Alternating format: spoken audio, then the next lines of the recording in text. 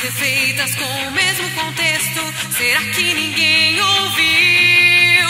Eu já cansei de falar, eu não quero mais repetir. Nesse mundo só meu, eu faço e digo o que quero. Isso ninguém vai fazer por mim.